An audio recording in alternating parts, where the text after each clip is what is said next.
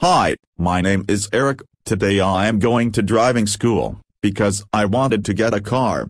Hi, Eric. I am your driving teacher, Mr. Andrews. Today I am teaching you how to drive. So, let's start it.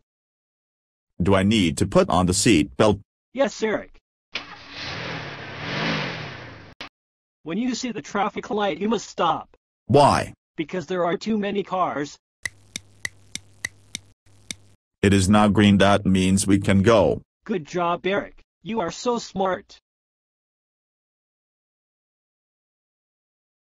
Eric, you did a great job on your driving. That means you now have your driver's license and you passed my driving school. Thank you Mr. Andrew, and what will my car is going to be? This blue car will be yours.